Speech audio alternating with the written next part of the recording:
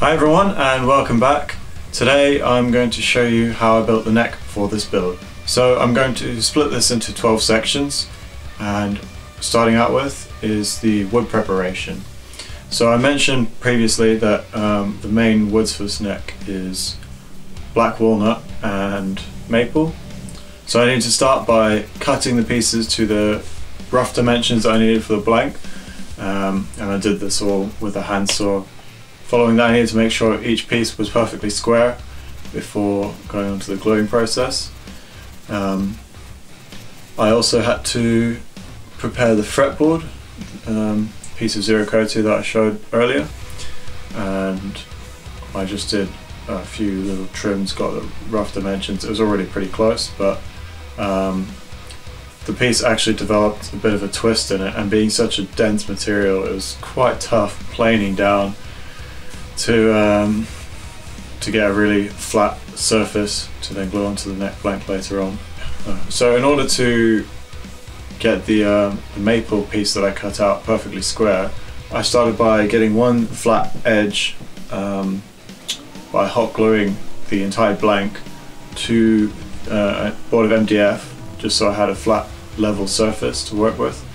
Um, I ran that through a thickness planer um, just to joint that edge and then after cutting I could use that flipped over to give me a perfectly even square piece for the uh, center of the neck. All I ever wanted was you, but you left me alone inside these. So after those pieces were all prepared, I glued that neck blank all together really, but it's obvious. I know that you left me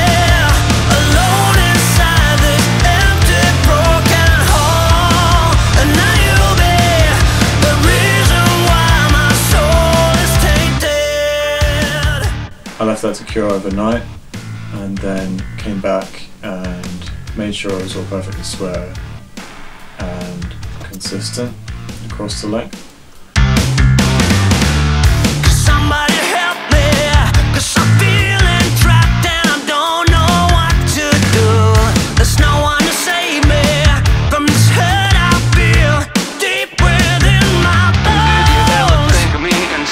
Next step was the truss rod cavity. So the way I went about this um, was by using a bushing and a um, router template. Um, and I did this on a Facebook live stream, so I've got a little bit of that footage here just clipped up. So I then um, cut the angle for the headstock, which was um, one of the first jobs after making the neck blank. Um, and I did that just by measuring out and cutting out with a handsaw. Um, relatively straightforward.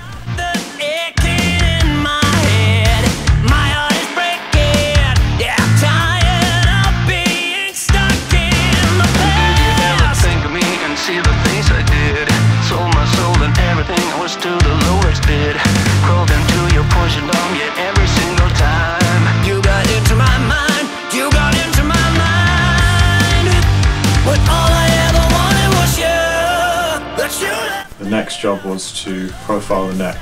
So I glued down with Martin Tamer Super Glue the um, neck template that I made. Also, off camera, I glued on some extra bits of maple just for those headstock wings. Um, very straightforward job again.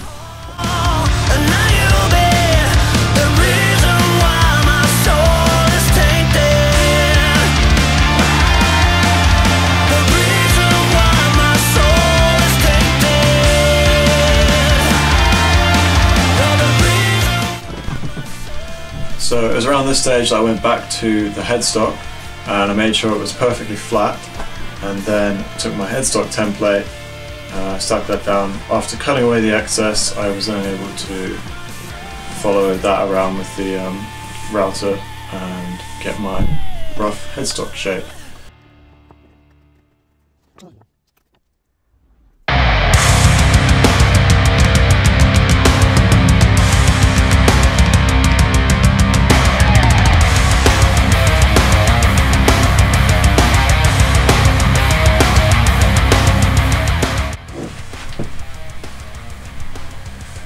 So then finally came the big job of the fretboard glue up. And there was one extra step for me because I'd chosen to use a spoke wheel truss rod which personally I think is such a luxury in that you don't have to take off strings or move them around in order to, to access and adjust it. Um, I think it looks pretty cool as well, gives you a nice looking uh, clean headstock but um, one of the things I had to do in order to keep the truss rod the way up that lets the wheel stick out the highest um, was take some material out of the bottom of the fretboard so that it will slot on top. And I managed to do that quite happily actually just using a, um, a guide sort of jig stuck down onto the fretboard with bushing again and sort of bullnose routed bit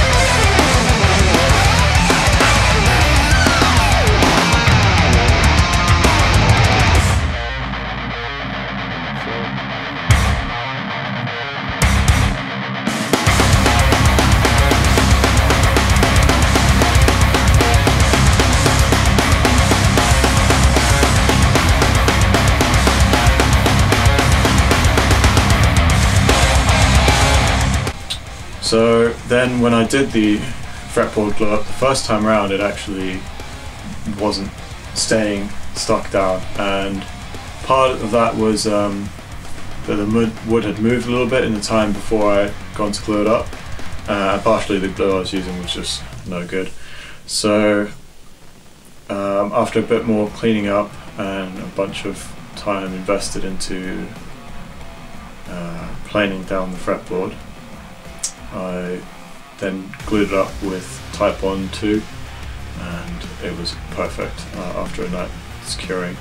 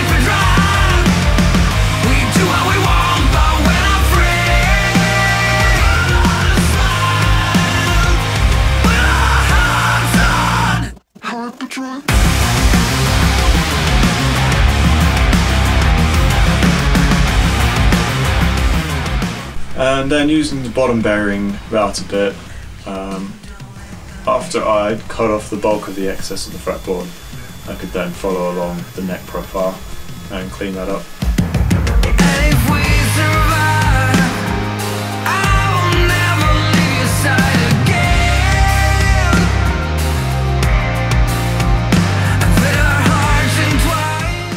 So at around that point in the build, I decided to make the um, small headstock veneer that I wanted.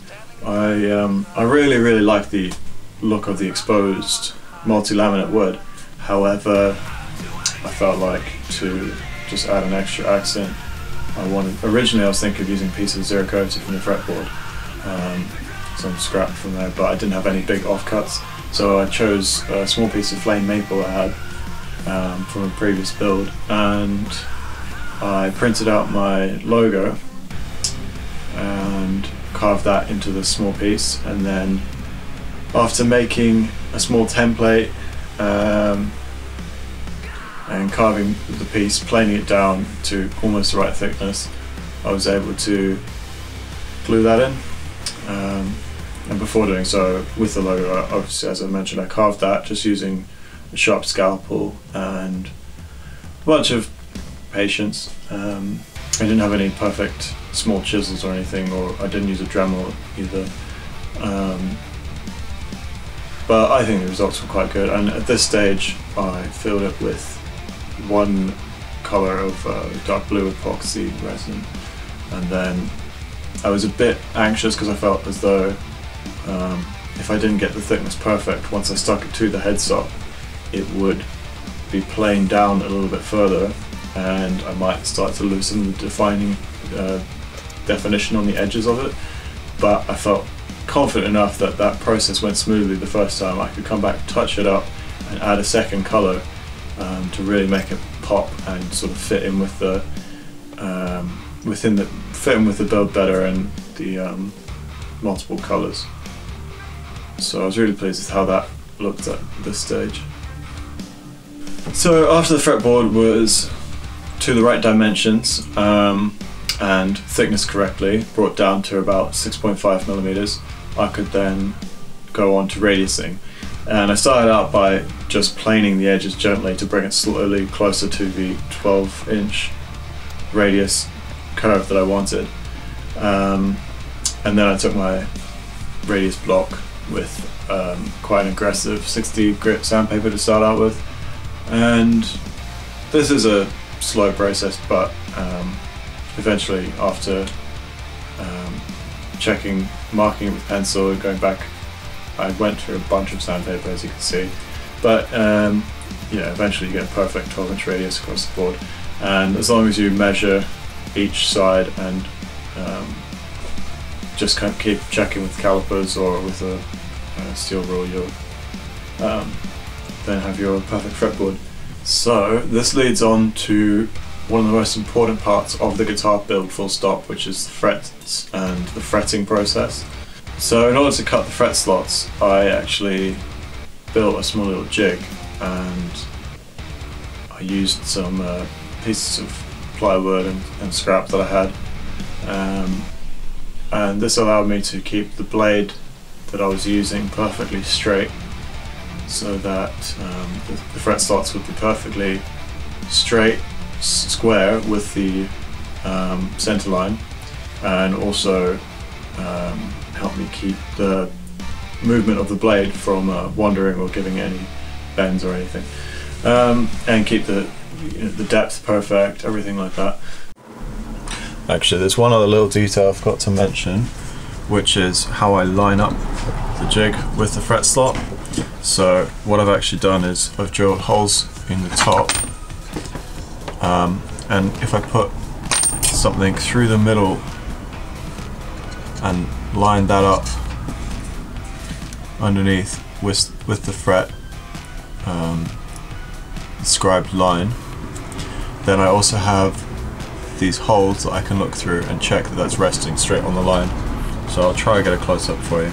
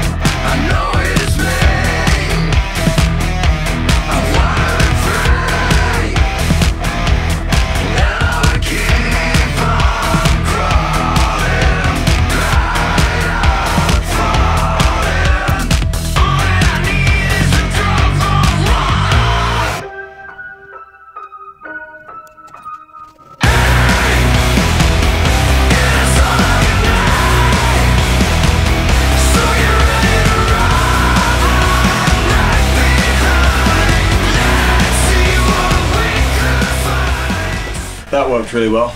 Uh, I felt pretty confident about that whole fret cutting process, fret slot cutting process.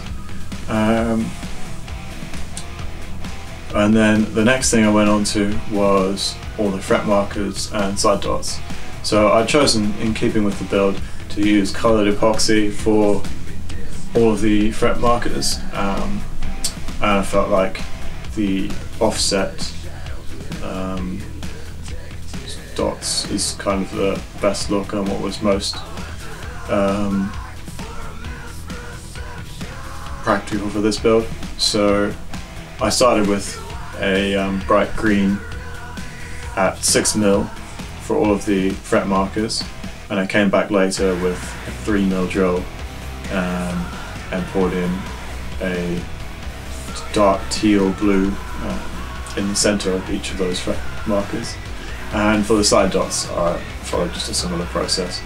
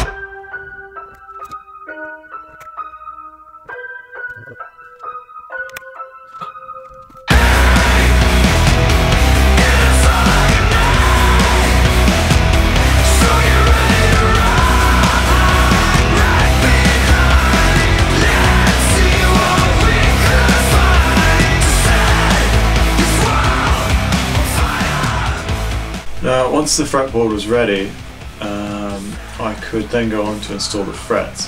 However, before doing so, I needed to prepare all the frets. Because I decided I didn't want the tangs exposed at the end, edge of the edges of the fretboard, I had to clip those down. But unfortunately, the um, cutting pliers that I had are not flush on the edges, and I don't have access to a grinder or anything, and I had no luck um, uh, flattening the uh, hardened steel.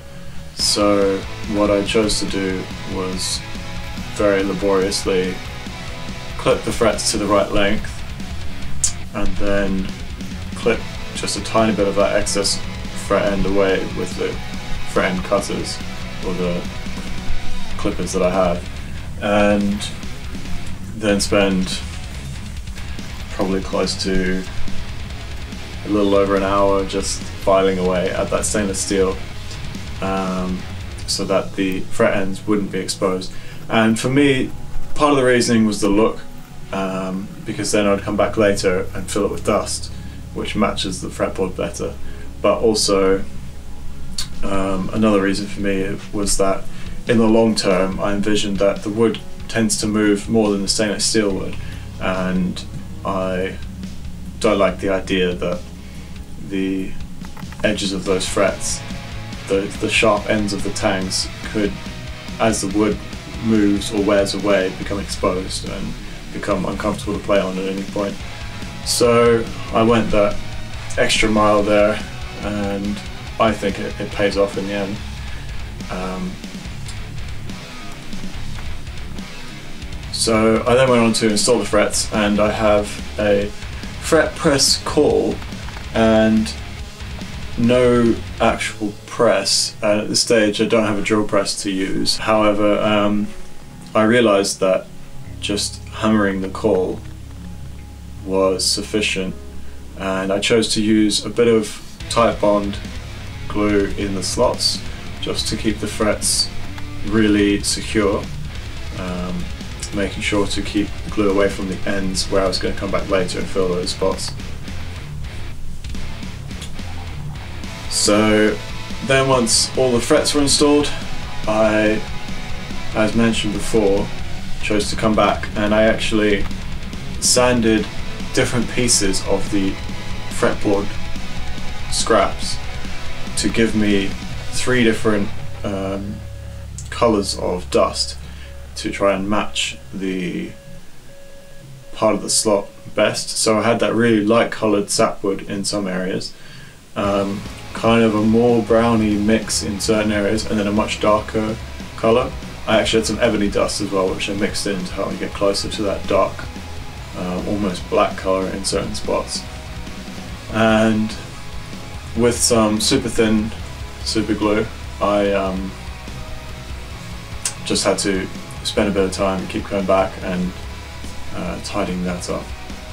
Uh, at this stage, I still need to give that a final perfect level sand, but I'm going to be buying a leveling beam shortly to do that with. Uh, so I'll just take a quick moment here to mention, um, as I've alluded to before, I have a bit of a weird selection of tools at the moment, and I am trying to get everything I need to smooth out this process so that each guitar I build going forward is going to be a little bit more straightforward, less full of uh, complications.